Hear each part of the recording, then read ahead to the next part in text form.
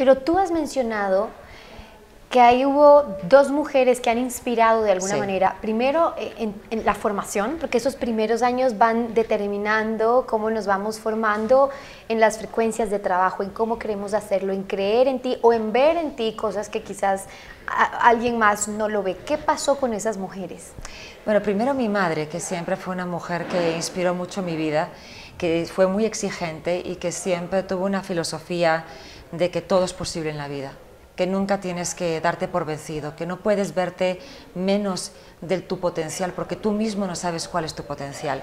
Y luego mi hermana, que de alguna manera fue mi ángel de la guarda, mi madrina, que también sabía que yo tenía grandes posibilidades de hacer cosas, pero que en ese momento de mi vida no, había llegado a hacerse una realidad.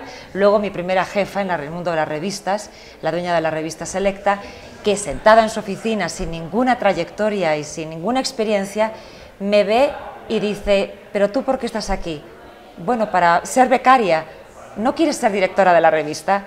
Y yo dije, pues sí, porque en aquel momento no importaba el salario, no importaba nada, lo que importaba era que yo en aquel momento no tenía nada en sí, más que ese programa de televisión, pero que no era un trabajo continuo, y esta era la oportunidad que, que Dios y la vida me presentaba.